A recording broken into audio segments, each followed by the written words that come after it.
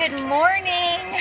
It's Saturday morning. Um, 20 the 30th, May 30th. I wasn't sure the date.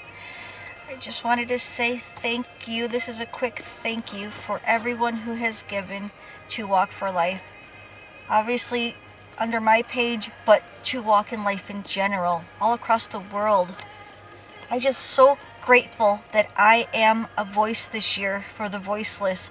I am so privileged that I got to work with a, a, a, ministry so powerful that makes changes, that makes changes to help women who are confused, who are scared, who have doubt, who have no hope.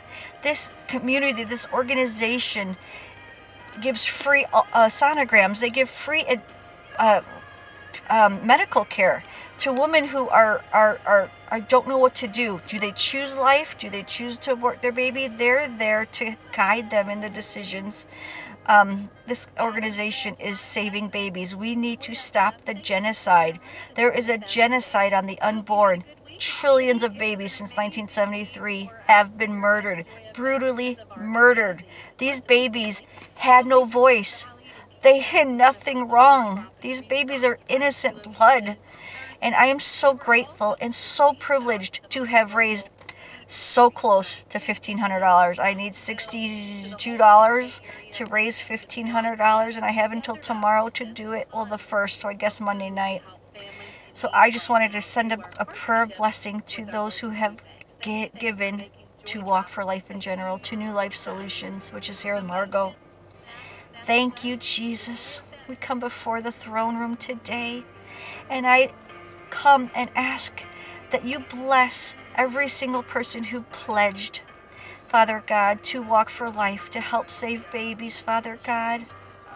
Their generous donations will help so many babies because we are their voice. We are bringing awareness to stop the genocide of murdering, brutally murdering babies. It's a brutal murder. It's brutal. The way these babies come out of their mothers is just so many different options, so many different ways. Father God, put it on all of our hearts to love our children tonight, to hold our children tighter tonight because we chose life for them. Our parents chose life for us. Let us be so grateful because life is a precious gift. Life is not to be taken for granted.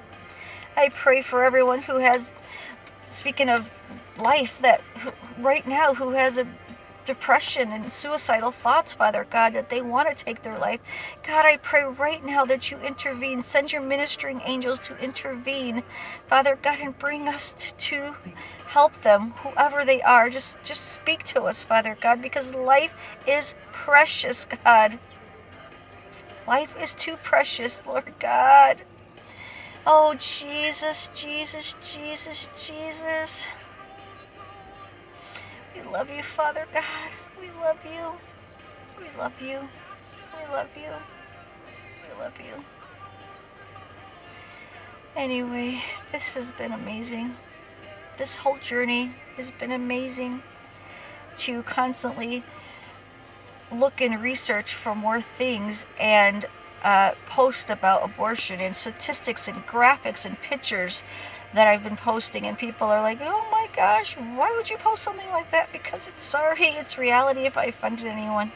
But you know what? These babies, no one cared about funding them. So, you know, this is a passion of mine and I really, really want to get more involved. I got to figure out a way to get more involved. And I appreciate all of your donations. And you guys have a blessed day.